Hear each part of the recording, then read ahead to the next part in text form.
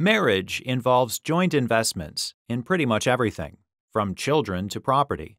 But when a marriage falls apart, how do courts treat those long term investments that began before the union? The California case of Vieux versus Vieux examines this question in the context of one bachelor's property contract that wasn't paid off until he had one foot out of his marriage. Shortly before they married, Coralyn and Hubert Vieux discussed purchasing a piece of property called Lot 24.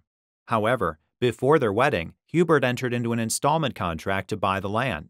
He put $280 down from his separate funds and immediately took possession of the property. After the couple married, they amassed a little over $700 in community funds and spent about $550 of that toward Lot 24's principal, interest, and taxes. Hubert later executed an oil lease on the property, for which he received a $2,200 bonus payment. He used this money to pay off the balance for Lot 24. Thereafter, Hubert executed and delivered a deed conveying the property to his parents in an effort to prevent Coralyn from claiming any sort of right or interest in it.